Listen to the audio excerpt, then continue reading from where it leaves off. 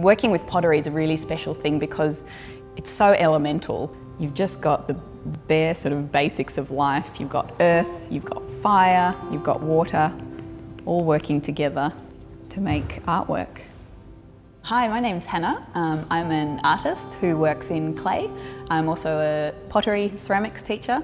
Um, and we're going to make a few things today with clay that you can do at home, just at your kitchen table. So let's get started with building something. Today I thought we'd make something where we make two simple little cups, uh, join them together, and we can use that to turn into a box.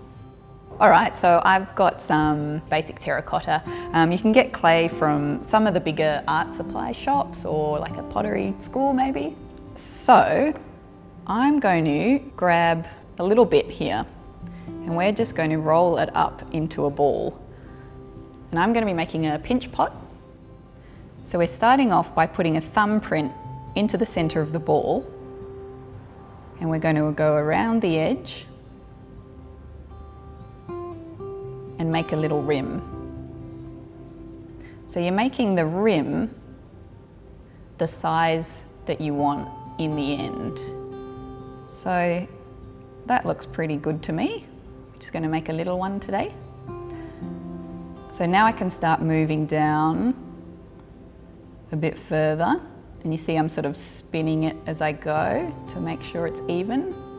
And this is where you're really using your fingertips to, to feel where the clay is moving rather than your eyes. So now we have our first little pinch pot. Very nice. Leave that guy there.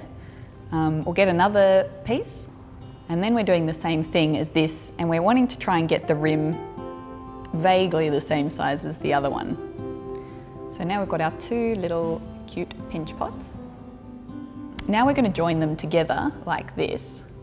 So when you're joining clay, you want to sort of open up the surface areas of where you want to join it.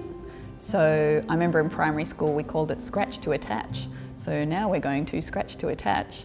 We can use pretty much anything. You can use your fingernail to make some scuff marks in it, a toothbrush, we're also going to do that to the other little pinch pot. So now we're going to use um, what we call slip. So slip is just uh, clay that's been watered down a bit. So it's almost like kind of uh, clay paint. And put that on the edges that we've roughed up. And then we're going to stick them together. So you give it a really good little wiggle. And then we're just going to smooth over that join and really sort of pushing those edges together. This thing is going to look quite weird until right at the end, which is a really nice um, thing about it because you're like, oh look, I've made a giant poo, but then magically at the end, it sort of turns into quite a nice little object. So now you've got two, your two joined little pinch pots in this funny little potato. And we're going to do some paddling now to turn this into a little box. I've got a wooden spatula and we're just whacking it really. And you can put it into a whole lot of different shapes with a paddle. So I'm gonna make this into a rectangle to turn this into a little box.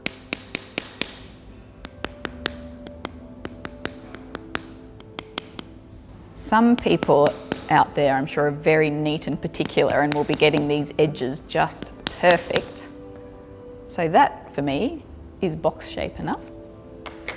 Now I'm going to grab, this is a little pottery wire, um, but you don't need to have a pottery wire. You can just have some string or maybe some like dental floss or something. So just anything that um, you can use to cut the top of the box off. So we're going to try and cut in a straight line and pulling it gently.